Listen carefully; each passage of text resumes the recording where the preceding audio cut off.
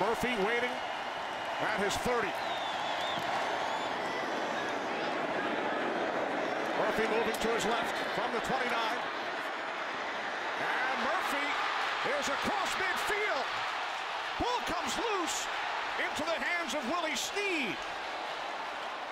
There is a flag.